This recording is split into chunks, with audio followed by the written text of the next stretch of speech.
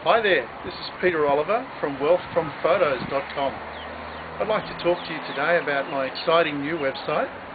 I'll give you a couple of tips on how to start up your new photography business and I'll also uh, ask you to go to my site with the opportunity to get my free newsletter and also help me with a small survey. Firstly, my story.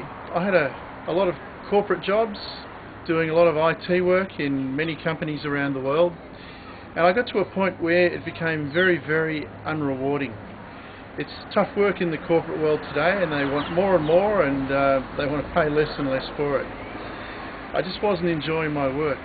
At the same time I had photography as a great hobby and I was also making some money out of it. And I decided to make a switch and to actually make photography my career. I've done that successfully and I'd like to help you do the same thing by sharing what I've learned. Before you start, you need to have a portfolio so people can actually see what you do. You'll have favourite things you do, whether it be weddings or portraits or landscape. Product photography, you might be very good at photographing stuff for people to sell on eBay. So get your best shots and put them into a portfolio you can get a reasonably cheap, inexpensive uh, folio from a stationery store, office supply store, which has got plastic sleeves. Put the photos into that, it'll look nice, you can carry it around and it'll protect the photographs. As well as that, these days you need to have an online presence as well.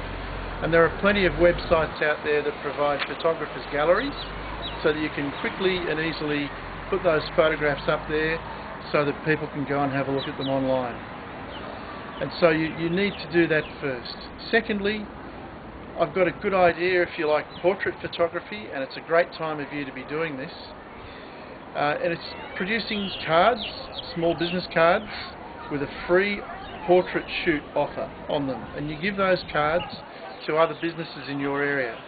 Give them to car dealers, restaurant owners, and any other business owner you like who want to re reward their customers with a free gift. And that gift is a portrait shoot with you in their home or your studio. And along with that shoot, you might give them one photograph out of, out of the sitting. And then the opportunity to make money is that they'll love that photograph and they'll want to buy some more to give to their friends and family. Particularly, it's Christmas this time of year um, it doesn't matter that it's Christmas this time of year, it's always a good time to give photos. But it is the holiday season and you can make quite a lot of money by giving something away for free. You give and you'll get back, I promise you. The last thing I wanted to talk about is my website, wealthfromphotos.com. What I'd like to do is produce services and products that are exactly what you need to help you start your business just as I did uh, start mine. I've got a short survey and I'd like I'd love you to go to my site, fill out the short survey and subscribe to my free newsletter. My gift to you for doing that will be a very valuable piece of assistance for free that'll help you along your way with starting a photography business.